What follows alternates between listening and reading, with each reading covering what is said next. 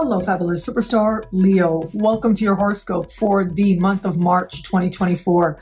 I am your astrologer, Nadiya Shah. Thank you for being here. It is a remarkable astrological month, without a doubt. Big moves happening in the sky now. Boy, is this a very special time.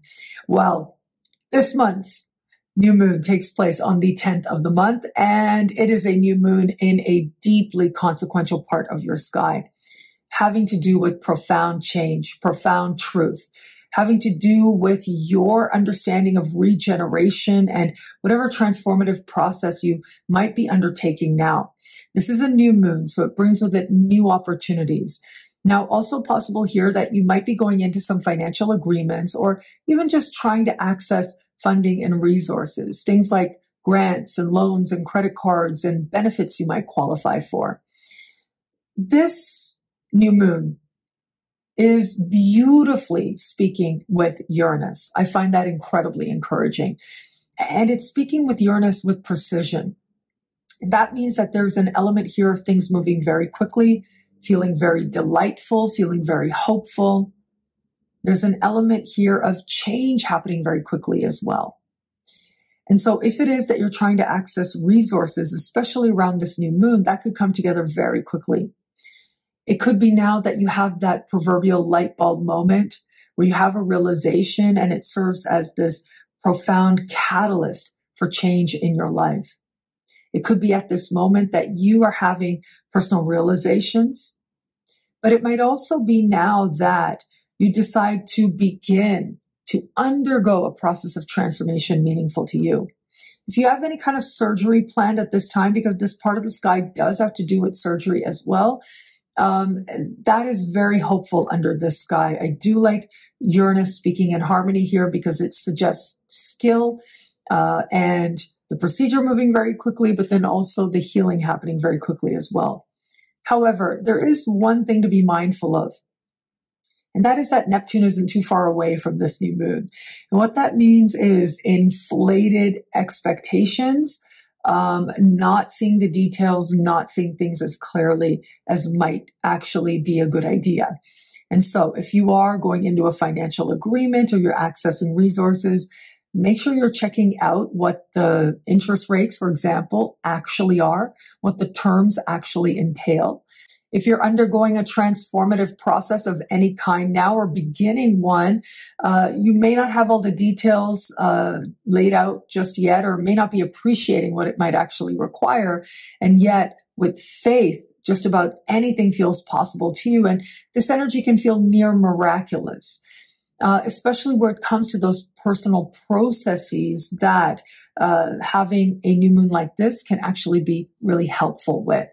Stay open to the healing vibes here. Stay open to the spiritual vibes uh, to experience the healing potential, but also the potential to see yourself with compassion, to see what needs to change with compassion as well as part of navigating this new moon, new beginning energy. Navigating forward, it will be on the 25th of the month that we will have not your ordinary full moon, but this is what I like to call a jacked up full moon. And what makes it a jacked up full moon is that it is a lunar eclipse. That's what we're going to have a lunar eclipse. So that's going to open up a portal uh, that's called eclipse season. And this is what the ancients believed was a time when the veils between the worlds were especially thin.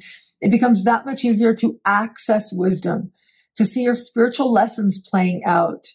Um, and that wisdom or that insight into your lessons might be an understanding of your spirit guides, of your ancestors, might be your own consciousness, your own higher consciousness that feels that much more uh, able to access at this time. Having said that, that two week portal does begin on the 25th. It's going to take us into April when we will have a solar eclipse, and I'll be here to talk about that every step of the way. But for now, this lunar eclipse is taking place in a part of the sky for you that has to do with conversation, communication, siblings, cousins, neighbors.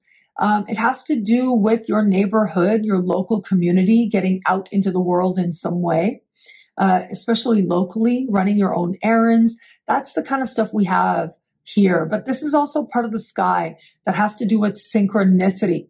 being in the right place at the right time, connecting with the right person, and it can just make all the difference for you now. And by all the difference, it's actually a really great difference. And that is because this eclipse is going to speak in supreme harmony with Pluto. I love this energy for you, I have to say. This energy is meaningful. It is heartwarming. It is elating. And this is energy that does invite a measure of understanding and insight. Yes. But it's also an energy that just puts you in the right place, whether it's the right time, the right person means uh, opportunity, means professional growth, but it could just mean the world feeling more open to you, a spirit of adventure, feeling like you have the right conversation at the right time. Now, this lunar eclipse might also bring a fortunate closure uh, to a matter having to do with your sibling, cousin, or neighbor. Um, and it could be now that, especially the neighbor might move away, for example. So there are changes transpiring there, and it may or may not have anything directly to do with you. Perhaps it's just in their life and you're very happy for them. But in some way, it's going to change things for you as well. If you have wanted uh, to go on a learning journey or you've been involved in a learning journey, uh, and this is very much about learning new skills, uh, maybe teaching yourself, I think this can be a moment that ends up being very important and, and a breakthrough of sorts for you now. Pluto in your opposite sign, uh, that has to do with one on one alliances. So you will find the right alliances are there for you as part of helping you to transform what's happening in a more immediate sense in that more personal environment now, in your local community now. And it is through those alliances that you end up seeing and understanding yourself so differently. Uh, I think one of the most likely scenarios with this is you being in the right place at the right time, meeting the right person, gives you a chance to talk. It's almost like you have stuff that you need to say that you want to talk out and you get that chance to do it very synchronistically. And as a result, you feel changed you feel like something's shifted for the better. Now, where it comes to matters of love, I mentioned uh, the new moon already that happens on the 10th. The following day, Venus moves into the same part of the sky. Uh, in addition to what I mentioned, this part of the sky also has to do with intimacy and vulnerability and authentic connections you make with others. With important energy here, like Venus here, for example, the goddess of love, but also that new moon. Um, if you don't feel a connection, it just isn't going to matter to you. It just isn't meaningful to you. And so there's a desire for authenticity there, but it is now connecting with another, being vulnerable to another that can serve as a powerful catalyst for you. The fact that we get that eclipse trine Pluto and Pluto is in your opposite sign that is huge because it is partnerships that are being lit up here and conversations with partners or synchronistic moments with potential partners uh, could be part of what awakens the spirit of transformation and change for you now. For those of you open to meeting someone new, um, I think it's very likely that you're going to connect with someone and it's just going to feel like this powerful pull towards this other person, the kind that feels very hard to resist. Um, it's up to you to decide what's right for you to do in light of your unique circumstances. There could be some real complicating factors there uh, that are very evident. And so again, it is your decision to decide how much you're going to engage.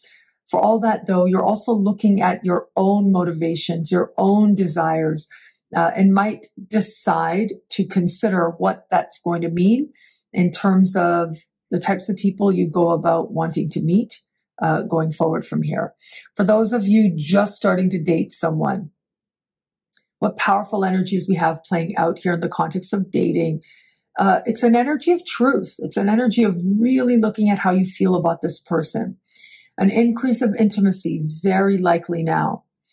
Having said that, either you're going to be all in and really meshed with this person that much more, or you really are going to realize this is not the person for you. You will know, you will have that understanding. And especially under the light of the new moon and with Venus, it's going to be very clear. uh, I want you to keep in mind that um, it is about 10 days after Venus changes signs that we get Venus meeting Saturn in the sky. Now that is a huge moment of truth that could change your direction, that can either move the two of you towards this solid sense of commitment, or it can have you realizing that this really isn't it, going another way. It's a very all or nothing moment here. And for those of you in an established bond, what a remarkable time this can be. In the context of established bonds, well, there's energy here of intimacy, of honesty, of vulnerability. Um, where the relationship is good, this new moon is going to accelerate that sense of them growing stronger. There's a sense of excitement now for how much closer you feel with each other very quickly. Um, but there's also this sense of being that much more deeply connected that can be very heartwarming. For that very small percentage of Leos out there, if you have felt for a while that maybe you're not in the right relationship for you, this is an all or nothing moment. A huge turning point moment is set to take place with a month like this. Um, of course, we're looking at around the 20th or 21st, depending on where you are on the planet, Venus meeting Saturn that ends up being the turning point moment. But you may need the month really, or the last three weeks of the month, I should say, to really understand what you're feeling and what you're wanting, especially if it is that you're gaining clarity into going a whole other way. What I love about this month for you, there's so much here. It's a powerful and meaningful astrological moment. I am going to say, I love uh, the energy of the uh, lunar eclipse. I think that is so powerful. It's speaking in supreme harmony with Pluto. That is powerfully transformative.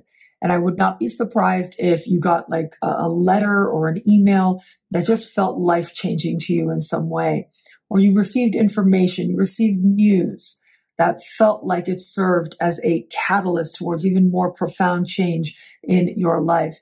It's your one-on-one alliances now that might be the conduit of delivering the information, but it's always up to you to decide what you're going to do with it. And with energy like this, where it is that it feels right, where it is that it feels like the truth, you accepting it and following up with action can lead to powerful change. Well, thank you so much for watching. Have you checked out NadiyaShahSuperstars.com? It is in that superstar space that you can get a video like this each and every week for each and every sign for as low as just $3 a month with choose your membership rate.